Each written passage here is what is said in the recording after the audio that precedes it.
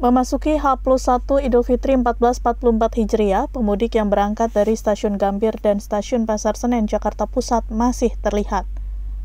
Data Humas KAI Daop 1 Jakarta pada Senin 24 April 2023, sebanyak 38.000 penumpang diberangkatkan. Angka ini dinilai masih cukup tinggi dibandingkan pada masa normal. Pantauan CCTV Kementerian Perhubungan pada Senin sore di Stasiun Gambir dan Stasiun Pasar Senen memperlihatkan masih adanya warga yang akan mudik di area keberangkatan.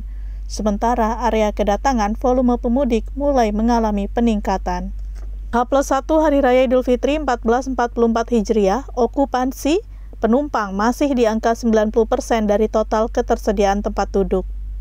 Berdasarkan data yang diperoleh tim redaksi Jak TV dari Kepala Humas PT KAI Daop 1 Jakarta Eva Hairunisa pada Senin 24 April 2023, sebanyak 23.400 penumpang yang berangkat dari stasiun Pasar Senen dengan layanan 32 kereta api yang beroperasi. Sementara 14.600 penumpang yang berangkat dari stasiun Gambir dengan layanan 38 kereta api yang beroperasi.